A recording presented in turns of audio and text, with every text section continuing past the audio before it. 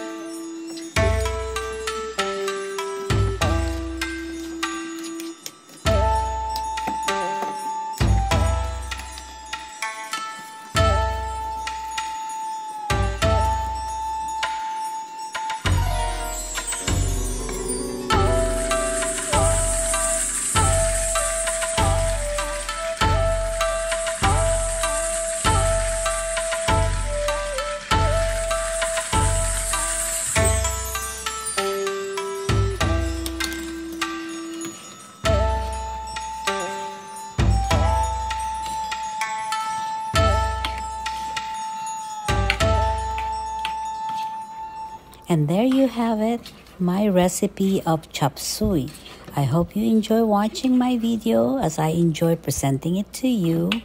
Until next menu, you all have a wonderful day.